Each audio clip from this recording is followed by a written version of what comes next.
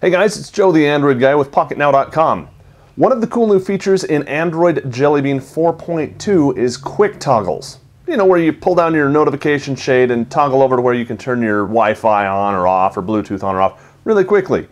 It's built in now, but you can't customize it.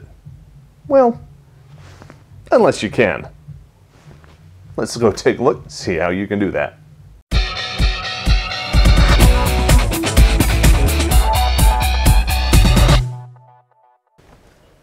This is my Nexus 4. It is running a CyanogenMod nightly, and what we're talking about is right over here.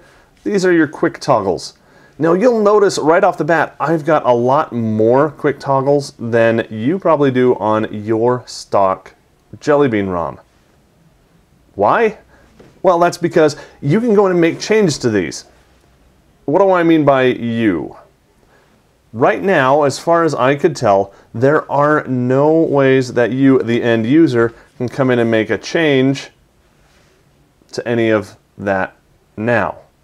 Of course, I think that's going to happen in the uh, hopefully not too distant future, where we'll be able to get in and, and you know make changes here, maybe move stuff around, or at very least have some kind of a control panel like we do with the power widget up here where we can make changes to the order and to which ones appear.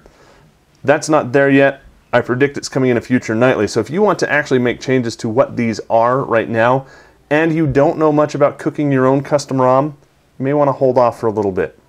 If you do know about cooking custom ROMs, head over to our article at pocketnow.com. We've got a link that will show you how to do this. It requires modifying your system UI, which you'll need to compile and flash over and yada yada yada. It, it's a complicated process, but we'll take care of uh, getting that information to you at the article at pocketnow.com so you can make your own, or at the very least, if you're running another custom ROM and your ROM doesn't have this, you can talk to the developer and say, hey, what do you think about adding custom quick toggles.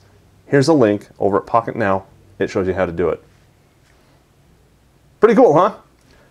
I think so. And there's only more stuff, more goodies coming in the future regarding quick toggles. Mark my words.